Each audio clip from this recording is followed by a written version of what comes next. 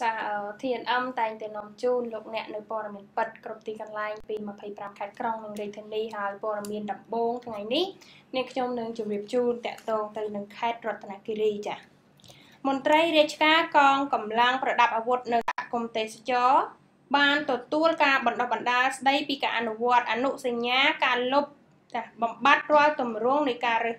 អើងប្រឆាំងនឹងនារីភេទពីខេត្តរតនគិរី មន្ត្រីរាជការកងកម្លាំងប្រដាប់អាវុធនិងសហគមន៍ទេសចរសរុបប្រមាណជាង50នាក់បានទទួលការបណ្ដុះបណ្ដាលស្ដីពីការអនុវត្តចាស់សញ្ញាការលុបបំបាត់រាល់ទម្រង់នៃការរើសអើងប្រយុទ្ធប្រឆាំងនឹងនារីភេទនិងអនុសាសន៍ដ៏ខ្ពង់ខ្ពស់របស់សម្ដេចអគ្គមហាសេនាបតីតេជោហ៊ុនសែននាយករដ្ឋមន្ត្រីនៃព្រះរាជាណាចក្រកម្ពុជាដែលមានរយៈពេល1ថ្ងៃនៅសាលាចាស់ នៅសាលប្រជុំមន្ទីរទេសចរខេត្តរតនគិរីព្រឹកថ្ងៃទី26ខែតុលាឆ្នាំ2017ថ្លែងទៅកាន់សខាកាមទាំង50នាក់លោកជំទាវកៅសាវឿនអភិបាលរងខេត្តនិងលោកជំទាវហ៊ុនដានីអនុរដ្ឋលេខាធិការក្រសួងទេសចរនិងជាប្រធានក្រុមការងារយេនឌ័រក្រសួងទេសចរបានមានប្រសាសន៍ថាវគ្គបណ្ដុះបណ្ដាលនៅថ្ងៃនេះថា គឺធ្វើឡើងក្នុងគោលបំណងផ្ដល់ជូននៅការយល់ដឹងពីគោលការណ៍គ្រឹះនិងខ្លឹមសារសំខាន់សំខាន់លើមាត្រានីមួយៗនៃអនុសញ្ញាចាស៊ីដស៊ីដចាស៊ីដអង្គការស៊ីដចាអង្គការស៊ីដជាអង្គការមួយលើកកម្ពស់ដល់នារីព្រមទាំងធ្វើការឆ្លុះបញ្ចាំងលើទស្សនវិជ្ជាចាស់ច្បាប់ជាតិនៃគោលនយោបាយរបស់រាជរដ្ឋាភិបាលដើម្បីពិនិត្យឡើងវិញនៅរបាយការណ៍ គួបលើកទី4និងលើកទី5នៃ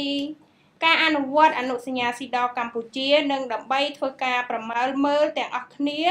លើភាពខ្វះខាតចន្លោះដែលមិនទាន់អនុវត្តធៀបទៅនឹងអនុសាសន៍នៃសេចក្តីសន្និដ្ឋាន52ចំណុចរបស់គណៈកម្មាធិការទទួលបន្ទុកអនុសញ្ញាស៊ីដនៃអង្គការសហប្រជាជាតិនិងដាក់ឲ្យអនុវត្តនៅអនុសាសន៍របស់សម្ដេចតេជោហ៊ុនសែននាយករដ្ឋមន្ត្រី ចំនួន11ចំណុចដែលបានដាក់ចេញនៅក្នុងឱកាសនៃកិច្ចប្រជុំបូកសរុបសកម្មភាពការងារឆ្នាំ2016និងទិសដៅនៃផែនការសកម្មភាពការងារសម្រាប់ឆ្នាំ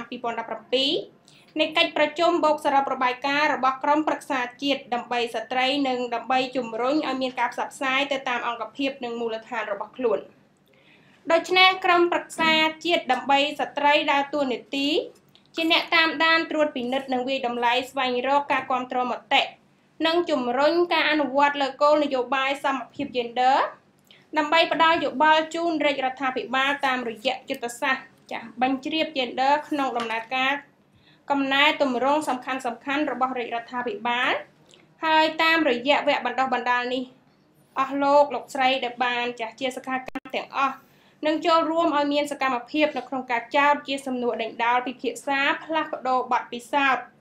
និងលើកជាយោបល់ឲ្យបានផុសផុលនិងសូមយកចិត្តទុកដាក់លើបទបង្ហាញនីមួយៗឲ្យបានស៊ីជម្រៅក្នុងគោលដៅស្វែងយល់អំពីច្បាប់ថ្មីថ្មីតាក់ទងទៅនឹងអនុសញ្ញានៃការលុបបំបាត់រាល់ទម្រង់នៃការរើសអើងប្រឆាំងនឹងនារីភេទចា៎សូមអរគុណមែនទែនទៅដល់ចាស់អង្គការស៊ីដស៊ីដដែលមាន ជាអង្គការមួយដែលតែងតែលើកស្ទួយក៏ដូចជាលើកកម្ពស់អឺភាពជា gender សម្រាប់ស្ត្រីចា៎ហើយ gender gender ហ្នឹងខ្ញុំឆ្ងល់សុំសួរកញ្ញារចនាតិចមានន័យថាម៉េច gender gender សួរនាងខ្ញុំបាទមិនដឹងទេបងប្អូនទស្សនិកជនក៏ប្រហែលជាបងប្អូនមួយចំនួនគាត់យល់ហើយបងប្អូនមួយចំនួនទៀតប្រហែលជាមិនយល់ចា៎ពាក្យភាក ពាក្យថា gender គឺមានន័យថារវាងបរិសុទ្ធនិងស្ត្រីគឺមានភាពស្មើគ្នាឬមួយក៏អាចហៅថាមានសិទ្ធិស្មើគ្នានៅក្នុងការសម្រាប់ចាត់ក៏ដូចជានៅក្នុងកិច្ចការផ្សេងផ្សេងជាពិសេសគឺការងារសង្គមចា៎អូអញ្ចឹងមានន័យថាចេះទៀតសំសួរមួយទៀតអញ្ចឹងមានន័យថារាល់ថ្ងៃបរិសុទ្ធនិងនារីអត់មានសិទ្ធិស្មើគ្នាឬក៏យ៉ាងម៉េចចាសពថ្ងៃបរិសុទ្ធនិងនារីស្ទើរតែ90ទៅទាំងអស់គឺស្ទើរតែមានសិទ្ធិស្មើគ្នាហើយប៉ុន្តែគ្រាន់ថាប្រជាជនខ្មែរ តែងតែមានផ្នត់គំនិតពីបុរាណមកថាស្ត្រីគឺមិនមានសិទ្ធិស្មើនឹងបុរសទេឃើញថានៅតាមអង្គភាពក៏ដូចជាជួររាជរដ្ឋាភិបាលឃើញថាកម្រមានមែនតែនស្ត្រីដែលក្នុងនាមជាអ្នកដឹកនាំបើសិនជាយើងសង្កេតមើលទៅលើកុំថាឡាយដល់ថ្នាក់ដឹកនាំជាន់ខ្ពស់យើងអាចសង្កេតមើលត្រឹមមេឃុំបាទឃើញថាពិបាកនឹងថាមួយនារីអាចនឹង បងប្អូនប្រជាពលរដ្ឋក៏ដូចជាទូទាំងសង្គមជនប្រហែលជាគិតថានារីជានារីភាពទុនខ្សោយអត់អាចធ្វើការជួយក៏ដូចជាដោះស្រាយបញ្ហាជំនឿបានប៉ុន្តែផ្ទុយទៅវិញបើសិនជាយើងសង្កេតមើលទៅចានារីនិងបរិះមានសមត្ថភាពក៏ដូចជាមានសិទ្ធិស្មើគ្នានៅក្នុងការធ្វើការងារផ្សេងផ្សេងចាអូបាទក្បោះក្បាយមែនតើណាបាទសូមសរសើរតែម្ដងហ្នឹងលោកស្រុនពេលខ្លះក៏មានអារម្មណ៍ថាស្ត្រីទុនខ្សោយឬមួយក៏ឃើញមនុស្សស្រី ក៏ប៉ុន្តែថ្ងៃនេះនិយាយអំពី gender ផ្ដល់សិទ្ធិឲ្យនារីទៅថ្ងៃនេះមានពិធីការនីដល់ទៅ2នាក់ចា៎បាទអញ្ចឹងហើយបានគេលើកកម្ពស់សិទ្ធិនារីខ្លាំងម៉េះដែរចា៎ទុកឲ្យបរោះពាក់កណ្ដាលបានហើយបាទនារីយកលើមកតិចទៅបានដើម្បីគេដើម្បីផ្ដល់កម្លាំងចិត្តដល់នារីអញ្ចឹងណាចាភាពជា gender មិនយក51ទេយកតែ50 50បានហើយចាបាទប៉ុន្តែឆ្ងល់ចេះគេថាមួយឆ្នាំមានសិទ្ធិនារីម្ដង ចាចុះបរោះអត់មានគឺអត់មានអាពិធីគោរពសិទ្ធិបរោះម្ដងអីមិនចឹងវាករណីចម្លែកទៅហើយបើសិនជាពីមុន ការប្ររពសិទ្ធិនារីដោយសារតែពីមុនអត់មានការផ្ដល់តម្លៃឲ្យនារីបើសិនជាគិតទៅមួយឆ្នាំប្រហែលថ្ងៃលោកស្រុន355 355ថ្ងៃ365 365ថ្ងៃ65ថ្ងៃនិង6ម៉ោងដូច្នេះសិទ្ធិនារីមានតែមួយថ្ងៃទេបងប្អូនសភាពនារីក្រៅពីនោះជាសិទ្ធិបរិសទាំងអស់ឬក៏យ៉ាងណាចា៎ បាទខ្ញុំពណ៌ឆ្ងល់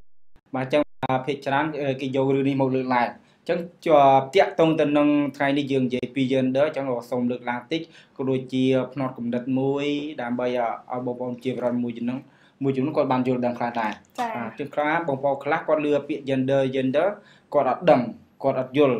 បាទហើយតាក់មួយទៀតតាក់តទៅនឹងសិទ្ធិនារីហ្នឹងគូបងប្អូនខ្លះក៏គាត់អត់យល់ដែរបាទគាត់គិតថា ជួបការកម្មបនពិធីប្រពសិទ្ធនារីមានតែមួយថ្ងៃនឹងសល់ប្រហែលសិទ្ធិតែសិទ្ធិបរោះចា៎បាទនេះគឺជាបញ្ហាមួយចឹងនៅបន្ទាប់ពីកញ្ញារចនាលើកឡើងចឹងខ្ញុំក៏បានយល់ខ្លះដែរបាទធម្មតាកាលណាឆ្ងល់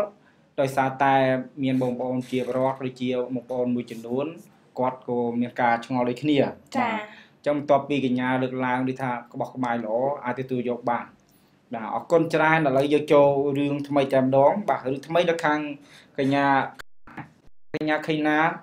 បាទនឹងជម្រាបជូននៅព័ត៌មានដល់បងប្អូនទេសជនបាទចាអឺសម្រាប់រឿងរបស់ខ្ញុំហ្នឹងគឺតាក់ទងនឹងបាត់មើលគ្រឿងញៀនទេដែរអូបាត់មើលគ្រឿងញៀនណាបាទនៅខាងណាដែរនៅខាងប្រទីមានជ័យខេត្តប្រទីមានជ័យបាទចាអញ្ចឹងនាងខ្ញុំសូមផ្ដល់ព័ត៌មានជូនតែម្ដងបាទព្រះរាជអាជ្ញាសាលាដំបងខេត្តថា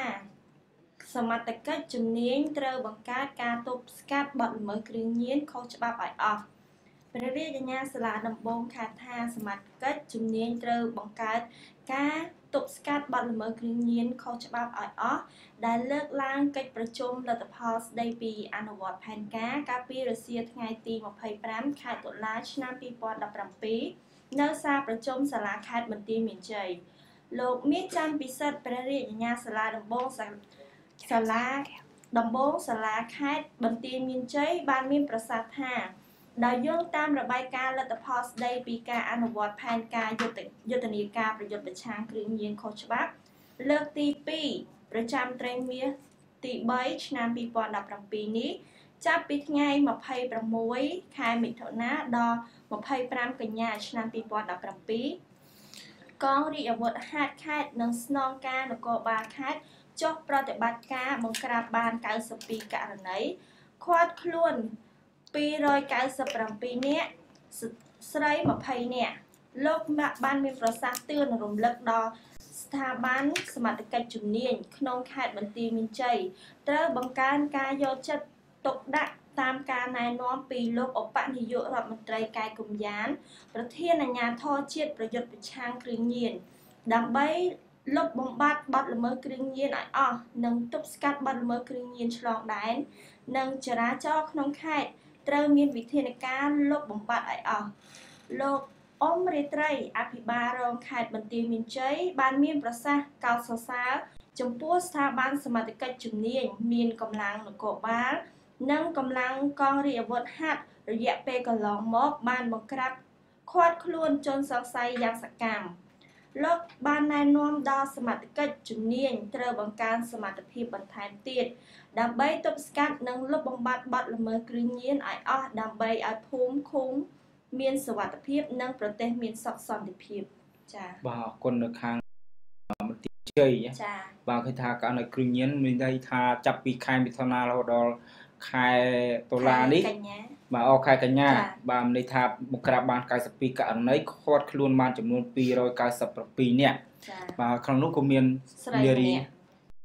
20សំដៅ20នាក់បាទ20នាក់ចាអញ្ចឹងក៏សូមកោតសរសើរបាទដដល់ល់សមត្ថកិបាច្ចត់កិច្ចខេត្តបន្ទាយមានជ័យដែលគាត់ខិតខំយកចិត្តទុកដាក់ក្នុងការបង្ក្រាបគ្រឿងញៀនផងដែរ បាទអរគុណប៉ុន្តែគាត់ថាសូមលើកទឹកចិត្តឲ្យគាត់មេត្តាបន្តសកម្មភាពគាត់បន្តទៀតដោយសារតែខេត្តបន្ទាយមានជ័យជាខេត្តមួយនៅជាប់ព្រំដែនថៃអញ្ចឹងជាគូជាហានិភ័យឧបសគ្គខ្ពស់ផងដែរដោយសារភាគច្រើនគ្រឿងញៀនគឺលំហូរចូលមកពីប្រទេសថៃចាបាទអញ្ចឹងអឺឃើញថាកន្លងមកគាត់ថាចាប់បានច្រើនបាទចាប់បានច្រើនដោយសារចំណុចហ្នឹងចំណុចសំខាន់បាទអរគុណ